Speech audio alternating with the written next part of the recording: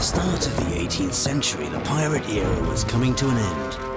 A group of gentlemen of fortune was found guilty and hung. But those who managed to escape settled in Madagascar and were even ready to start working for the civil service. A pirate is a man too. Money doesn't smell. There were many sovereigns who wanted the pirates on their side. Завтра отправляешься. На корабле. Пойдете под иноземным флагом. The fact that Peter the Great secretly sent a letter to the king of the Madagascar pirates was so unexpected that even centuries later, no one believed it to be true.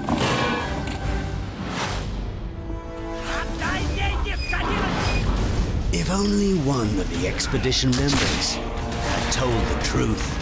Я ж думал, ты знаешь, один корабль тот вообще не дошел до берега, его шторм припал. А второй, ну тот, что вез грамоту Петра Алексеевича мадагаскарского пирата. Так там такое случилось, только с нас взяли слово молчать. But no secret can remain concealed from the light forever. По-моему, у нас только одна проблема. У нас нет денег. Now everything depends on you.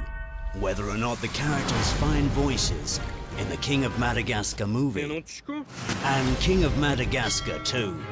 Значит, до острова Мадагаскар ты так и не добрался. Will those who lied for love tell the truth? Отдайте золото. You'll have a chance to unravel this and many other secrets I hope this time you will not brush it. and become a creator of real adventures. Я за. Я тоже. The future of this movie depends on you. Теперь ваш вступительный снос. Where is my damn money? You can contribute to our film and become a co-investor on it. See you on screen